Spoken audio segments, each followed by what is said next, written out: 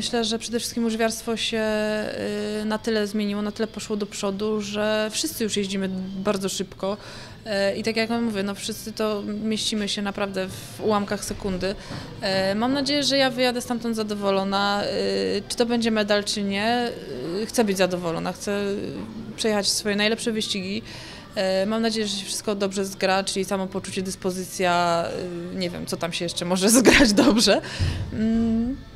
I do przodu, co tu dużo mówić. Kalkulować będziemy później, analizować będziemy później, e, ale chciałabym po skończonym biegu powiedzieć z ręką na sercu, że zrobiłam wszystko, żeby ten bieg wyszedł właśnie tak, jak wyszedł.